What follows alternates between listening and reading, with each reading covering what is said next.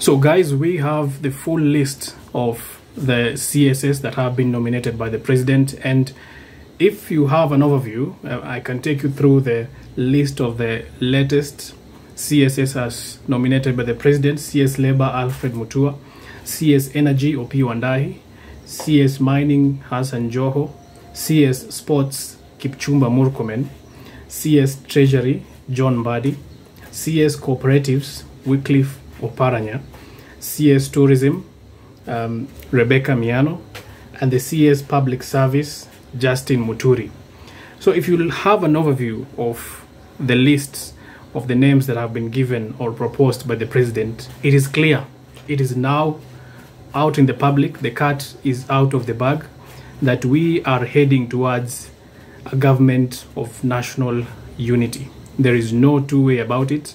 The names that we have we are seeing here, bigwigs in the opposition, the likes of Opiyo Wandayi, who is now the current minority leader, now will be the CS Energy, a very big docket. Uh, we have uh, someone like Hassan Joho, the former governor of um, Mombasa, County 001, now the CS of mining. We have um, uh, John Mbadi, who was the part of the ODM leadership in uh, in in the parliament. Now we have uh, he's going to this to be the CS Treasury, very big docket again, and then we have Wycliffe Oparanya, former two-term governor of Kakamega, now the CS of cooperatives.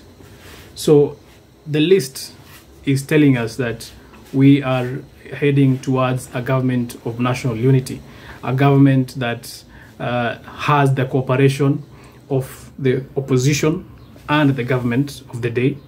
We have all the hallmarks of ODM being part of this. We know that uh, other members of Azimio were jittery about it, and it is clear from that list that no other member from the from the Azimio fraternity except ODM were party to this. We are not seeing any wiper uh, signs here. We're not seeing any Jubilee signs here. We're not seeing any other party that was affiliate of the Azimio except the ODM party. And that is why maybe you are seeing uh, the likes of Kalonzo Musyoka, the likes of uh, Martha Karua coming out and clearly stating their position that they are not going to be part of this conversation. So it is likely that William Ruto engaged Raila Odinga alone to make up this decision to whip some of his members to be part of this government of national unity.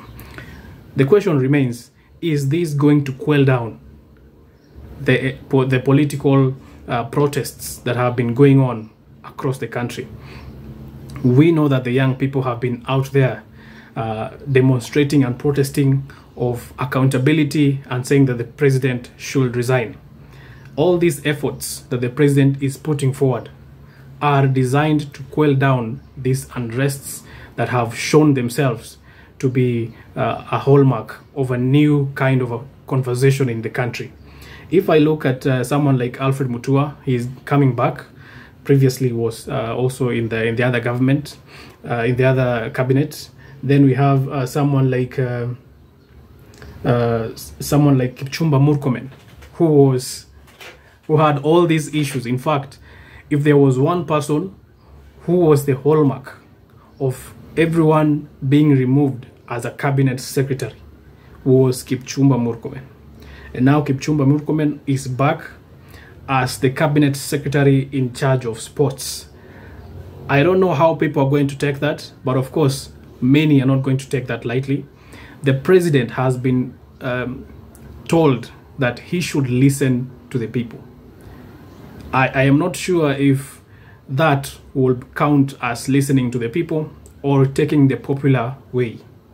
One thing we know that the president is trying to get the numbers in parliament. He is trying to get the numbers also in the population. He knows that there are going there there are people who are going to be disgruntled either way. Whether you benefit one side or you benefit the other, people are going to be disgruntled. He has chosen, I can say, I can call this the easier and political path to make sure that you get part of your of your of your of your position inside government so that you can lead a government that ha still has some ounce of opposition because other members of the Azimio party were not uh, party to this.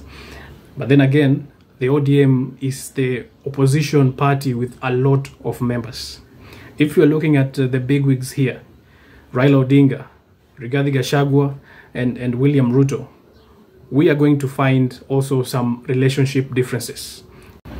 You remember it was uh, Rigathi Gachagua who said that Raila Odinga should not step anywhere close to the State House. Of course, we knew what he was meaning, that Raila Odinga should never be part of the government that he is in. But right now, Raila Odinga is inside the State House. There is no doubt about that. Raila Odinga is inside the State House. He has a very big stake in this government.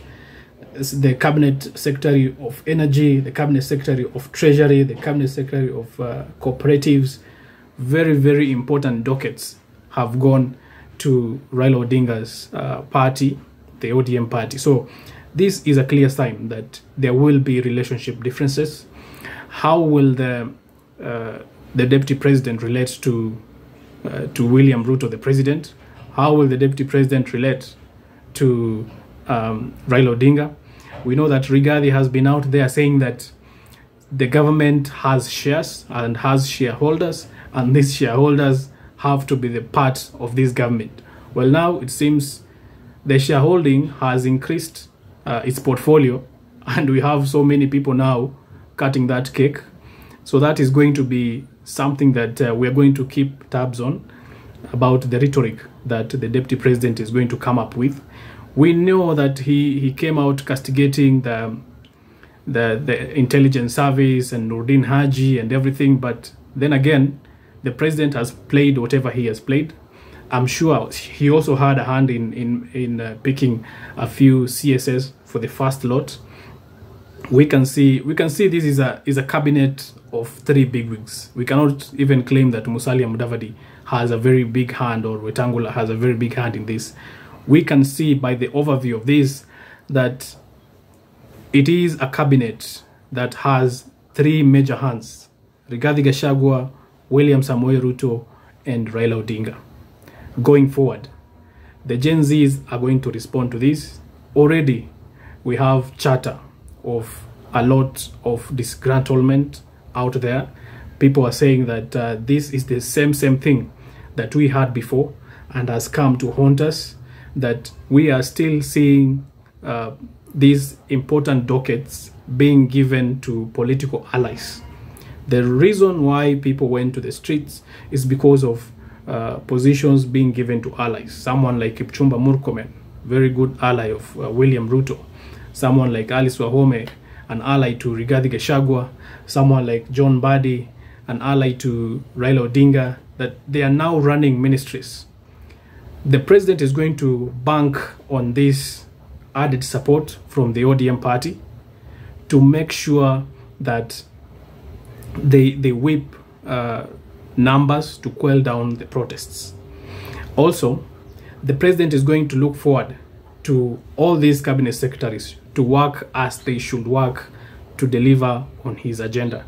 One thing we know is that it is likely that the plan, the official agenda of the Kenya Kwanza regime is going to be changed a bit because now you are bringing in new faces who are opposing those ideas. We are going to see uh, Raila Odinga also getting involved so much in government, as well as this is a clear indication that Raila Odinga will not be on the ballot come 2027. He cannot be on the ballot while he is part of the government. Anything that the government will do from now, anything, any mistake that the government will get in, will not only be implicated on William Ruto, on Rigathi Gachagua, it will also be implicated on Raila Odinga. So this is a clear sign that in 2027, it is likely that we are going to have uh, William Ruto against uh, Kalonzo Musyoka. And this is also a clear sign that the votes in uh, Western region, the votes in Nyanza region are starting to be coalesced together. against uh, any other opposition that will come in that will spear William Ruto towards the second regime.